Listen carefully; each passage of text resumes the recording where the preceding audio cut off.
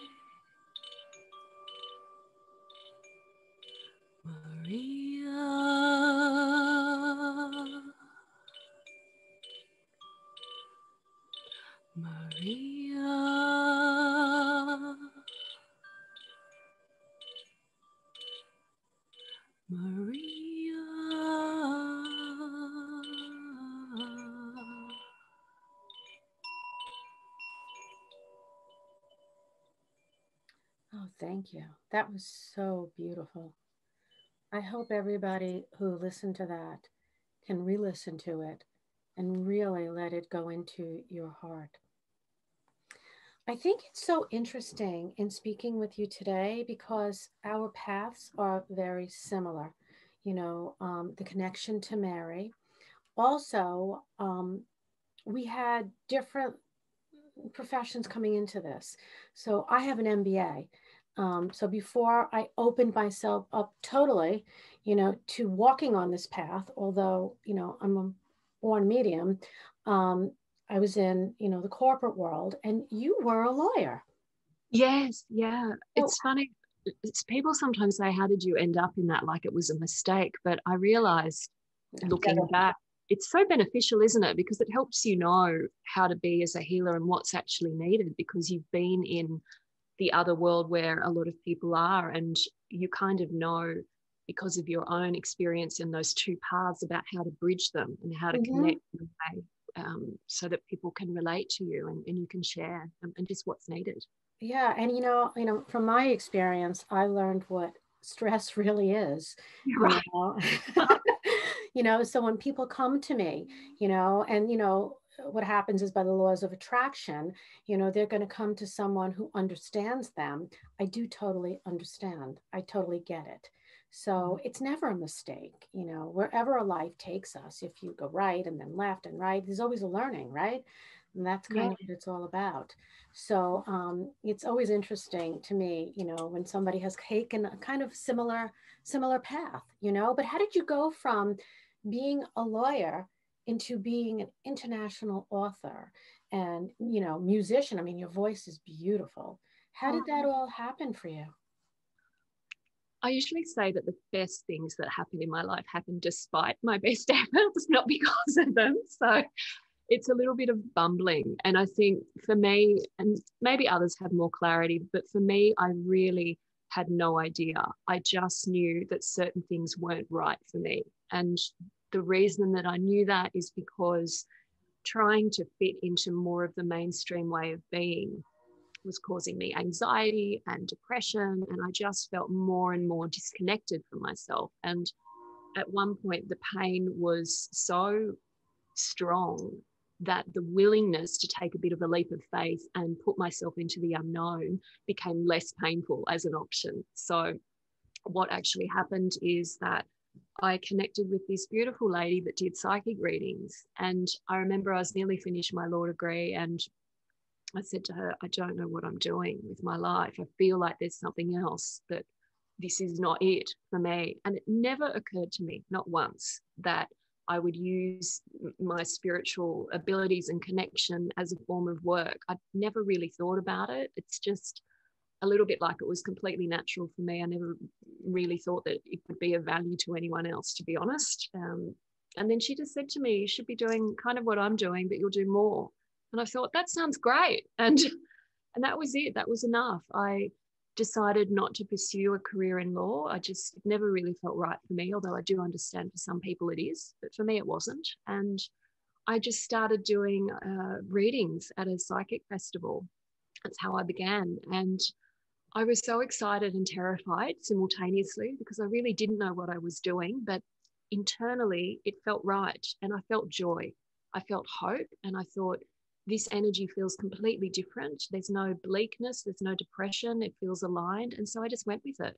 And I began doing readings, and then I began to teach, and then I began to write, and then I began to record, and things just kind of happened without me really having any idea, but trusting my intuition and trusting the guidance. And anytime that there is that kind of sense that something needs to happen, but I don't know what, I don't panic anymore. It used to really worry me because I was raised to believe that you should always really be in control and know what you're doing and have a plan and take the steps according to that plan. And there's nothing necessarily wrong with that in, in certain times in your life. It's important. But if you try to live your whole life like that, which I really was, you don't leave any room for spirit to guide you. So for me, it was sort of learning not to always trust my own sense of how things should be and how to make it happen, but more about surrendering into this faith and trust in my heart that the universe somehow had a plan for my life. I didn't have to know what it was in order for it to happen. I just needed to learn how to get out of my own way,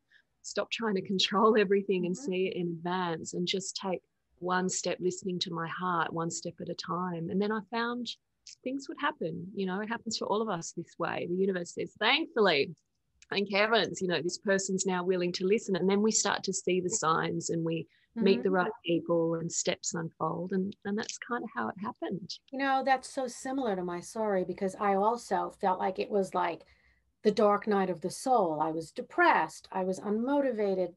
I hated my job. I hated what I was doing. I couldn't get out of it. And then it was like, what am I going to do? Where where is this going? And then I almost died. And I said, okay, God, this is it. You got me. I, that's it. Like, what do you want to do? And no more control because I learned that like I wanted to get pregnant. I couldn't get pregnant. I couldn't control these things.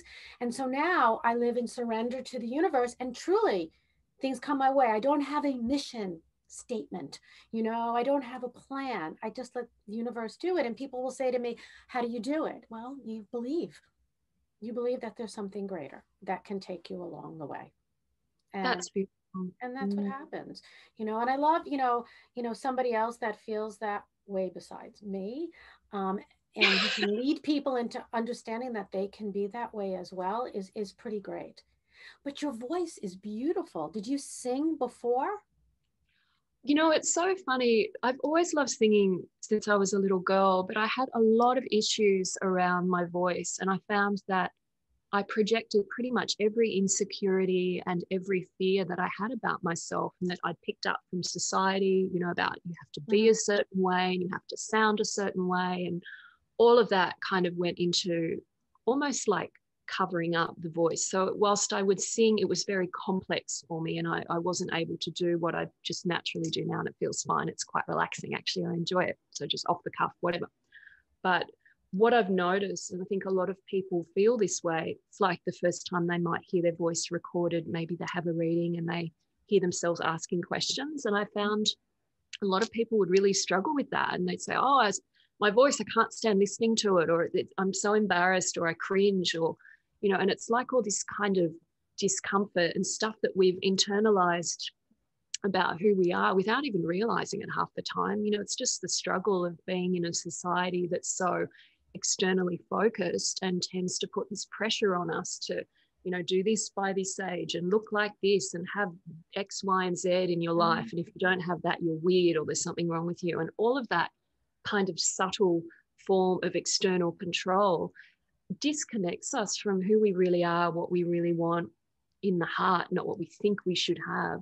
And I think in that process, we can develop this really kind of not very loving relationship, very critical, very um, fearful of judgment kind of way of relating to ourselves. So I found for me, the more that I was able to begin to just gently challenge that and just say, you know what, maybe someone else doesn't know what's best for me. Maybe they love me and have my best interests at heart, but maybe there is something inside of my own being that knows, and that the universe is moving, the divine is moving to bring that out and to allow that to be the seeds of my path. And I believe we all have this. It's like the same way that you know how does a caterpillar know how to become a butterfly that's the most extraordinary thing that it happens all the time and i think it's a kind of spiritual intelligence that we all have inside of us. And it's only when we really learn to sort of love who we are and be at peace with our weird quirks, you know, thank heavens, or else the world would be very boring. So,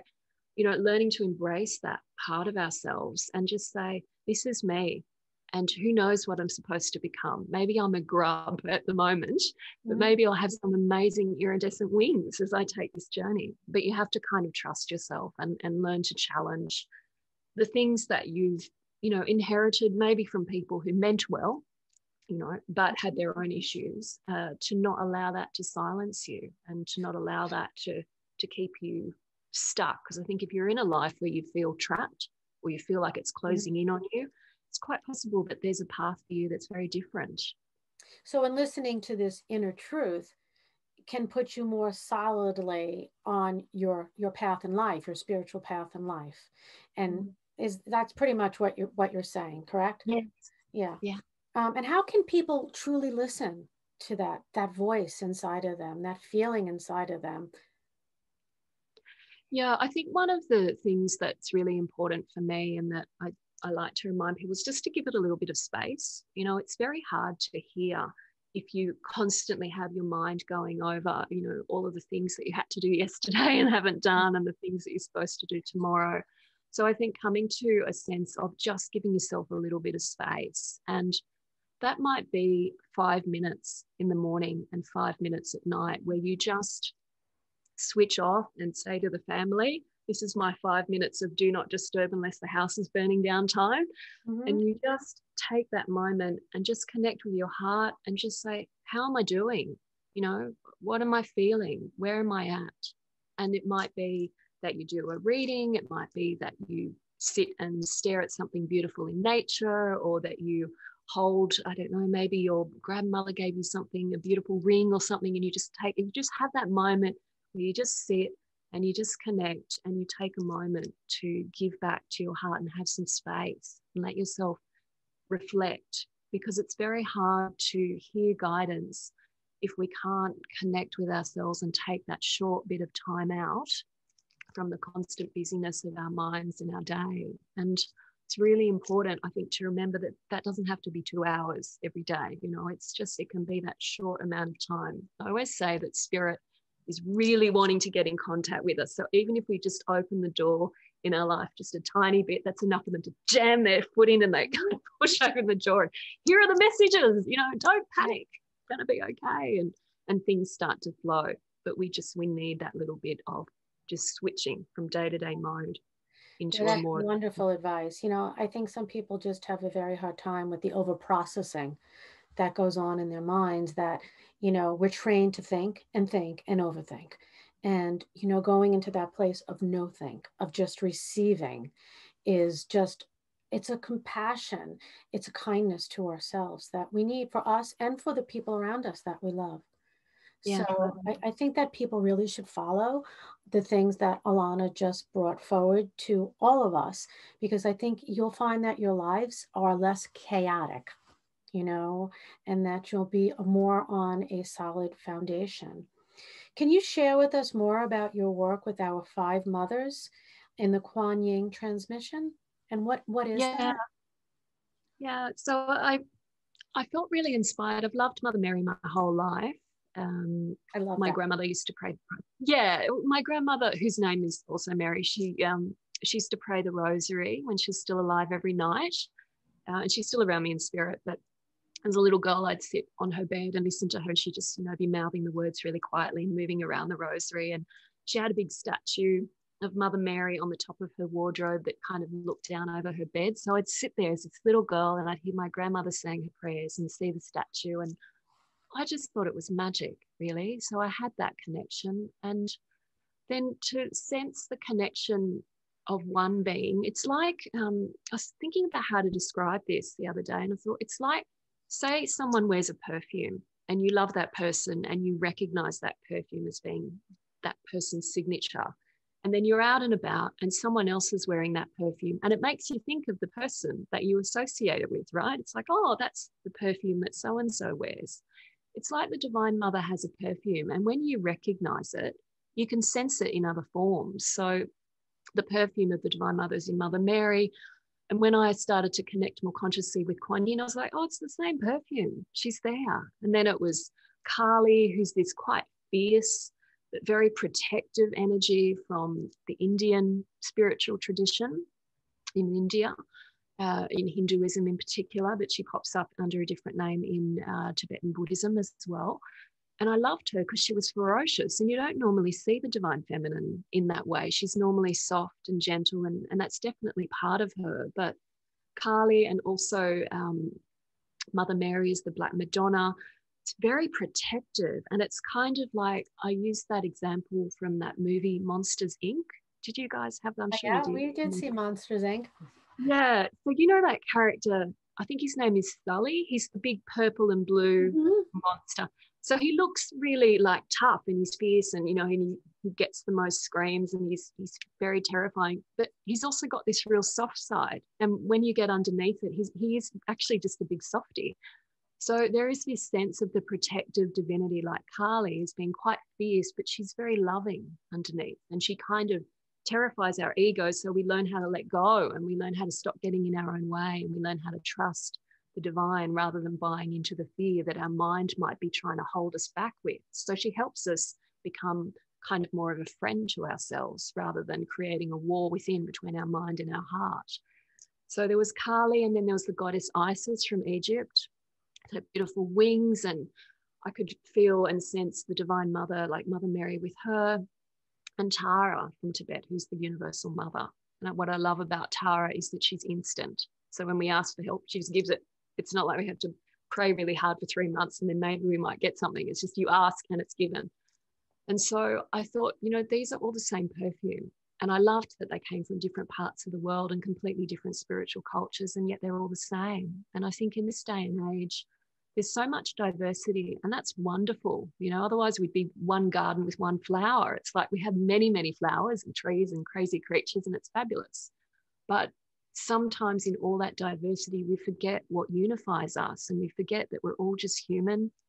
I saw a post by the dalai lama the other day and he's like you come into the world the same way you're going to leave it the same way we all bleed the same. It's like just look for the things that help us feel compassion for each other and help us connect. And so, in creating this, I wanted to create a path where people could learn about these different divine feminine beings, learn about the different cultures that they come from, and recognize that they're all part of us, and then learn how to channel it, how to really feel their energy. Because I think until you really start to feel the divine, taking a leap of faith seems like nuts. It just mm-hmm. seems. So I want people to feel it, to recognize that it's real, and then choose. You know, if something doesn't work for you, there's always many other things that will. And the divine's very generous, I find. So there'll be something that feels good for you. You just got to kind of have a bit of a look until you find it. Yeah, it's like a big buffet, and you isn't it? what yeah. you want, you know. Um, and you know this this energy of you know these mothers, they're all part of one energy. You know, they're part of one. There's you know like you said the fierce the the the kind you know there's the one that hugs you and the one that says you better be good yeah. you know? It's what it's all about. And you know as a messenger of god the universe brings to us and all cultures everything that we need from you know that the feminine aspect. And it's quite wonderful you know really wonderful you know so um you know i love that that you're doing this work. I, I you know i wish you were in the united states but um you're not but i do on, it's online so you know we do have students from all over the world um, and i do come to visit america obviously not at the moment but i i feel a very strong soul connection with the mm-hmm. us and and what's happening over there and i have toured a couple of times and will do so again.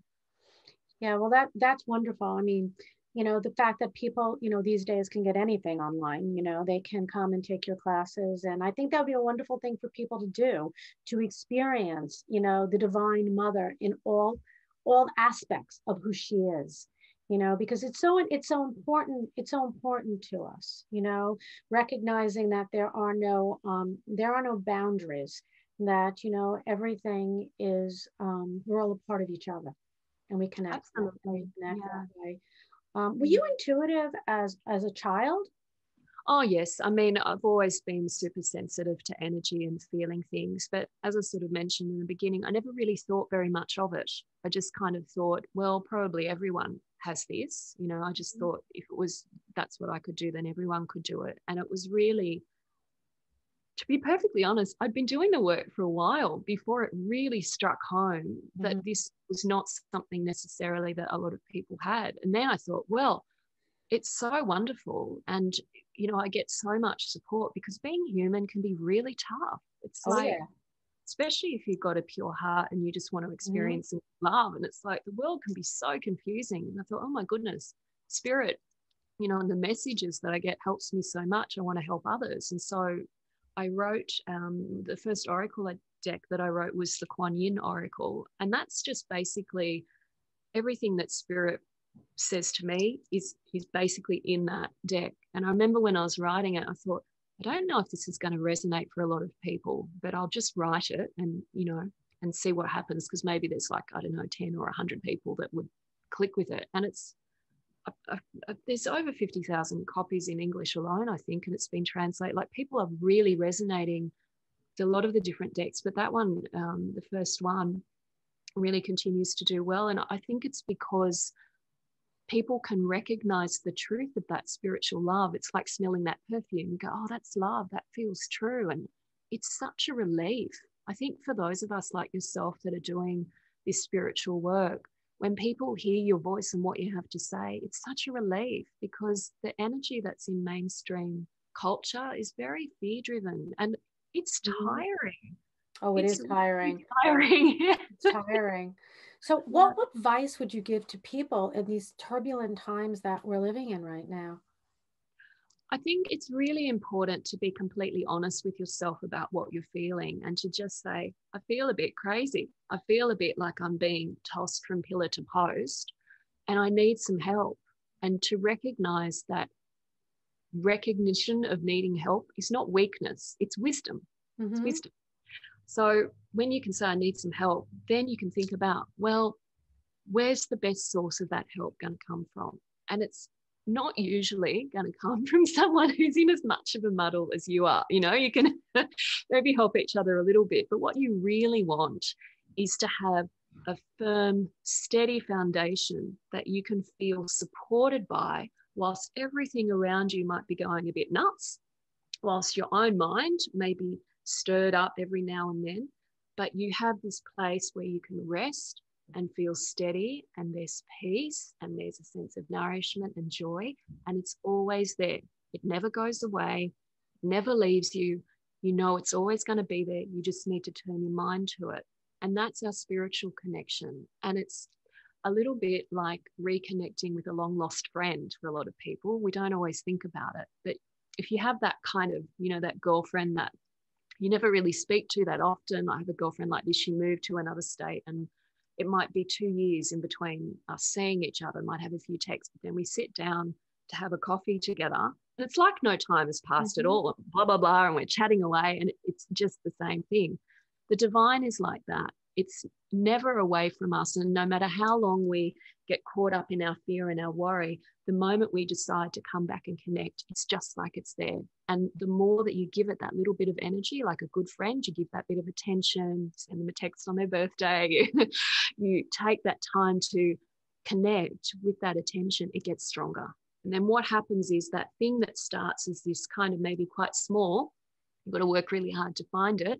Where's that bit of peace? Oh, there it is. Oh, that's right oh mother mary's with me. Oh the universe is kind and it's this is a growth phase that we're all going through not a you know apocalypse. And okay there'll be a way through it and you start to calm yourself and you remember your spiritual connection and you settle into your heart.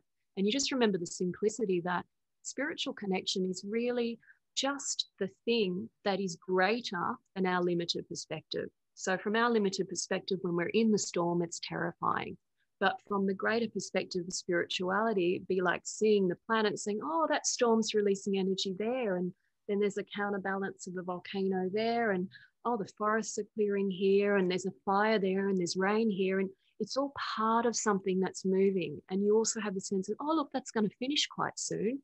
Can't tell when you're in it, but you sort of start to see from a different perspective. And what happens is that as you practice resting in that, it gets bigger and then that becomes more of what you rest in. And then the stuff that's going on around you, sure, you'll feel it a little bit, you know, and you'll have to engage and you'll have your struggles because we're all here to grow and learn.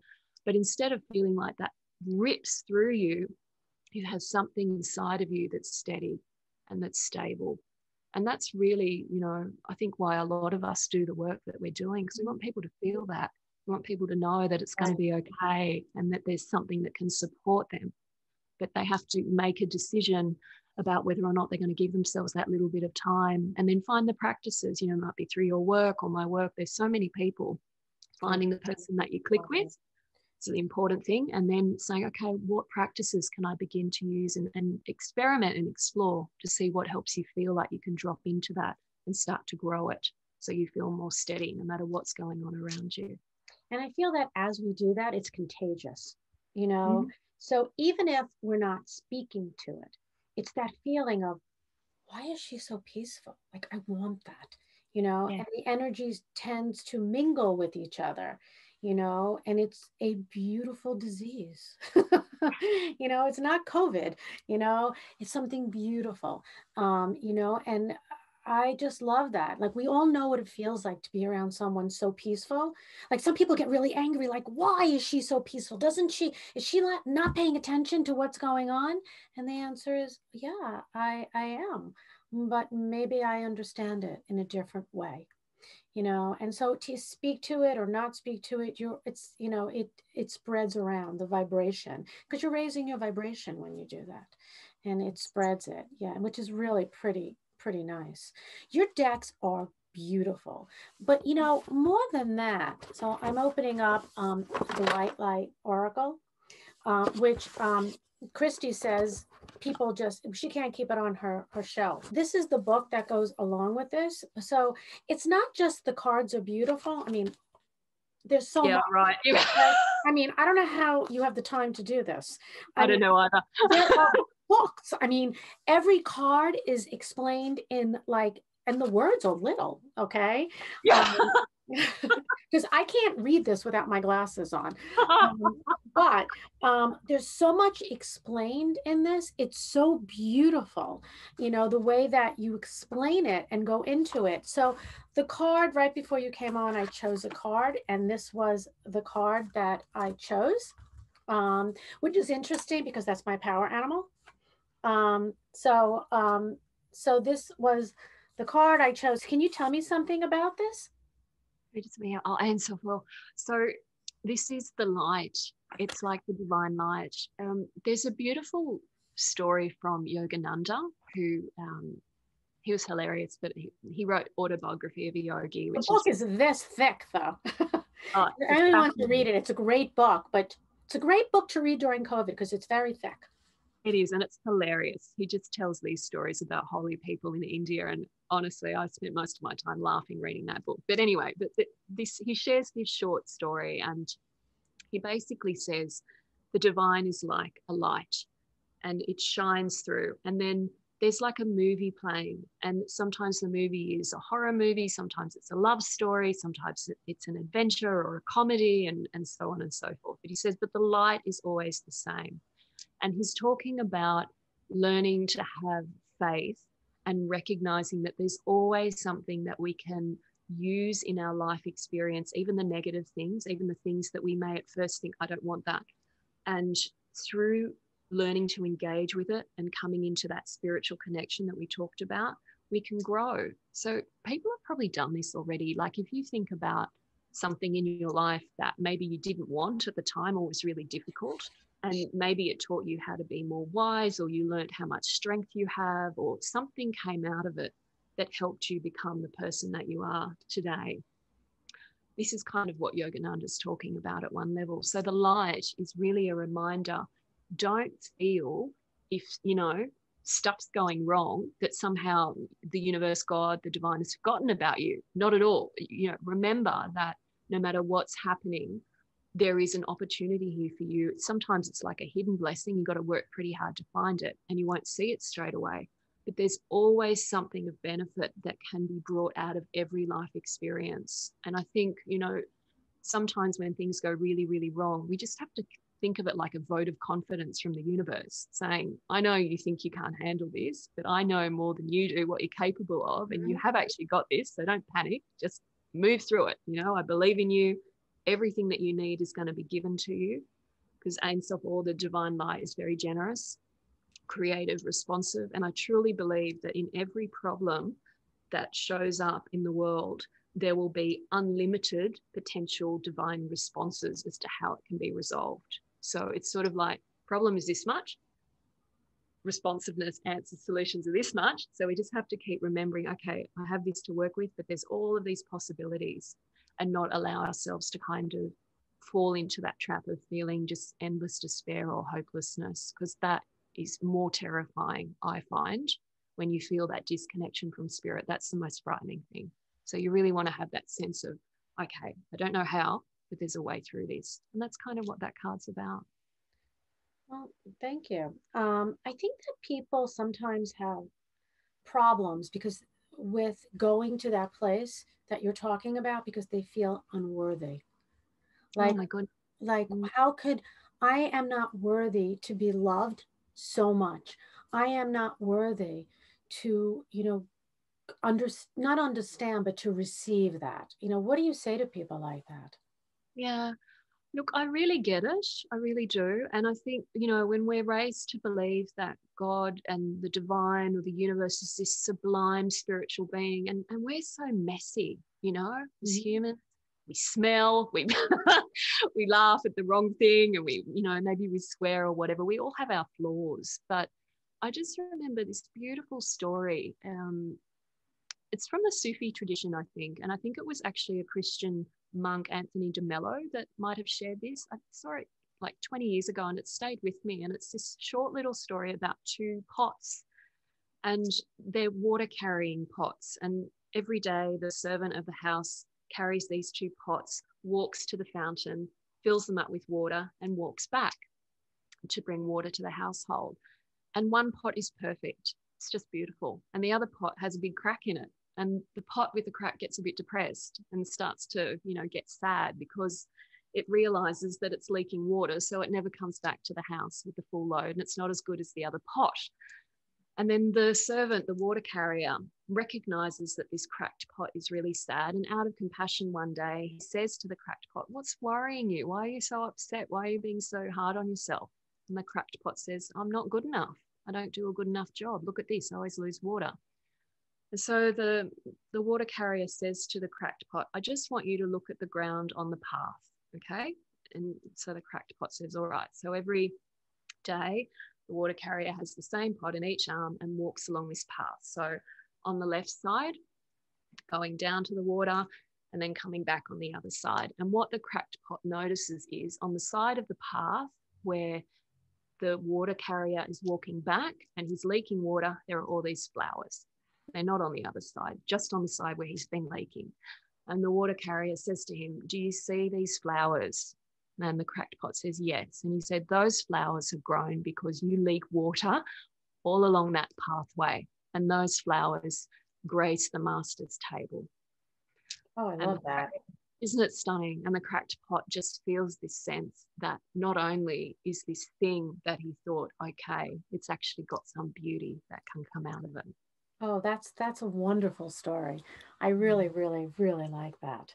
And it's mm-hmm. true. I mean, we don't have to be perfect.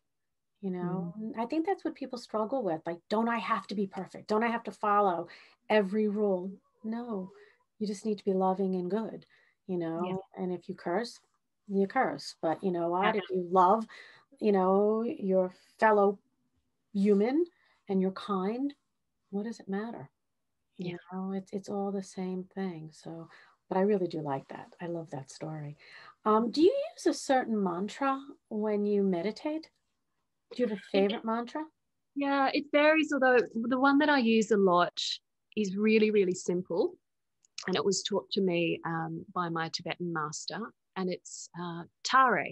That's it that's the mantra and what it means is um, divine mother please be with me. And the reason he taught that really short version is because he said sometimes something terrible is happening, like a there's a car accident or you see something that needs help and you don't have time to, you know, in the Tibetan tradition, you sit down and you take out your bell and you because you don't have time to sit down and do a practice. You just need something that works in that moment. So now if I'm out and about and Australia's pretty wild, like we have a lot of crazy creatures and critters around here. So sometimes you see things like I'm trying to rescue, you know, some poor little fly that's got trapped in a spider web. And, you know, uh, so, you know, I use the mantra. I'm like, Tara, can you help Tara, Tara? And, you know, if I see someone that's suffering or there's a car accident and I'm driving by and I can't stop or, you know, a Tare, I just send this love from my heart. So that's a way that I kind of use mantra every day. And you can just meditate on it quite gently, Tare, and feel the Divine Mother in your heart if that works for you. But any divine name, if you love Mother Mary, if you love Jesus, if you love uh, Durga or Kali, you can say the name and just feel love in your heart. And that's a very simple but very effective way to strengthen your divine connection. Just want to ask you a question back to um, Tara. You know the uh, the other you know the energy of the mothers what sets her apart you know and how do people how can people connect with her you know it's funny the tibetans teach that even just so if you're listening to this podcast and you've heard me speak about her that in some lifetime if you believe in reincarnation or some spiritual grace already exists that you've actually heard about her. And so you have a relationship with her already. It's just like you you might not remember it consciously. So, any kind of heart connection or desire to have a heart connection with a divine being, according to the Buddhist tradition, and I agree with this actually, basically says it's already there. So now it's just a matter of how you want to work with it. Mm-hmm. Do you meditate? Do you want to pray? Do you want to maybe Google and learn about her? Or, you know, there's all those different things. But I think there's a couple of things that set Tara apart. One is her swiftness. She's really, um, a lot of people think she's a great goddess for Westerners because we're so darn impatient. You know, we, we want right. everything yesterday. So with Tara, she will manifest instantly the response to our question. If we have need to know something, it will come like that. Our biggest struggle is to have enough faith to believe that that's possible and to not get in the way. Because sometimes, without realizing it, we put these kind of impediments before spirit and we go oh i really want an answer to this but in our minds we think oh but it's going to need to be six months for that and i'm not quite ready and oh what if it and we kind of set all these walls up so with tara we really have to be willing to get the answer uh, and to say okay i'm i'm ready for this i trust that i'm ready to let go of this problem that i might have been holding on to as a kind of weird security blanket unconsciously for a while. You know, what would it be like to not have that anymore? To have the solution. And our minds might go, oh, that sounds pretty good. But then when you think about it, it might be like, oh, who am I without that problem? But, you know, what will my life be like if I'm not constantly worrying about that? So we have to be willing to kind of let go. So that's one facet with Tara. The other one with her, she manifests in any form required. So again, I mentioned Tibetan Buddhism because that's the tradition where she's very strong.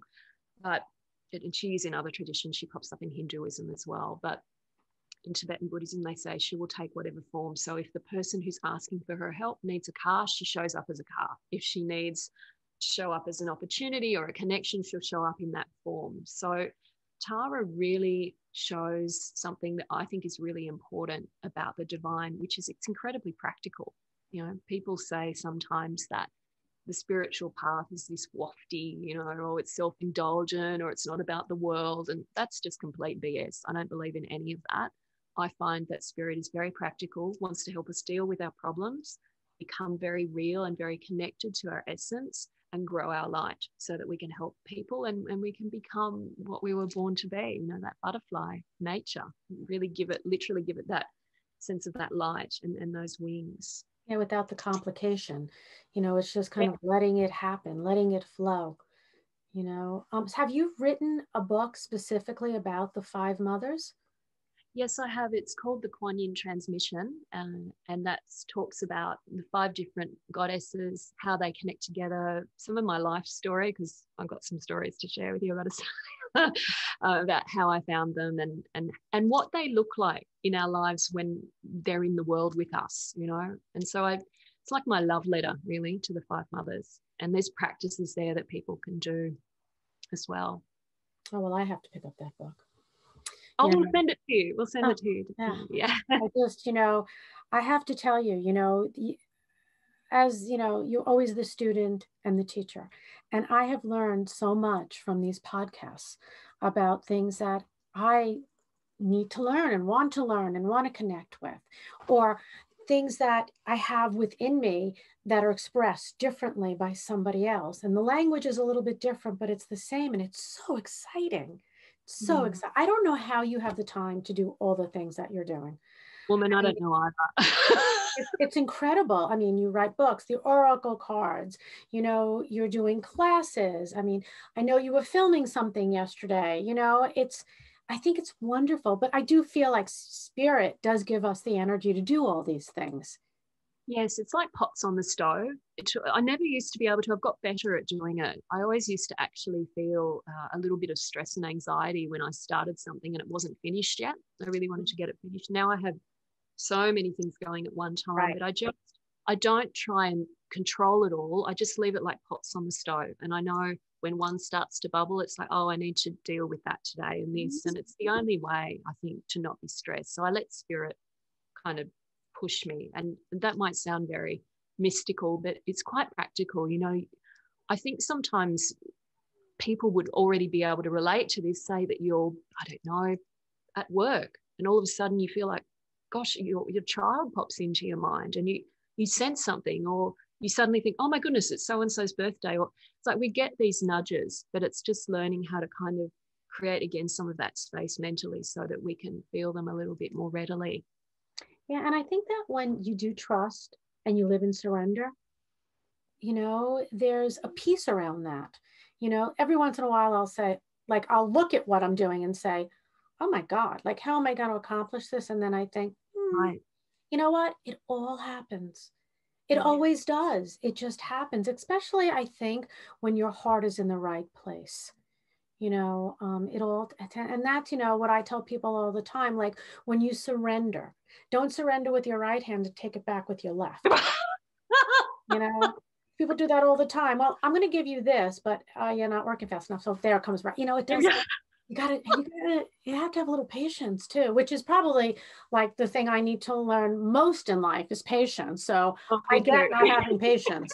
Um, but yeah, that's what people that's what people do. And so um, you know, it's uh it's an interesting life, you know. It's not easy, it's not perfect, but I when you walk the path, you know, I mean, I know I, you know, I hear from Mary. I talk to Mary. I know she's with me. I can go to her with my problems like I would to my mother. Not that I'm a Christian, you know, I, I, do go to Christ, I believe in God, I believe in all of that. But I think when you know that you are surrounded and protected, as we all are, it's an easy, it makes it easier. Not that it's perfect, but it's easier. Yeah. Yeah. And I think that, you know, I, I hope people continue to read your books, you know, um, and continue to take your classes because you're bringing so much light to the world. Oh, that's beautiful. Likewise, Anna, likewise, you're doing such beautiful work. Yeah. Thank you so much for coming on today. Um, I hope you all enjoyed today's episode. If you did, please like, share, and comment on our YouTube channels and on the podcast channel. And please subscribe so you never miss an episode with all these wonderful people we have on. And thank you so much, Alana. It was wonderful speaking with you. Lots of love to you and your listeners. Thank you.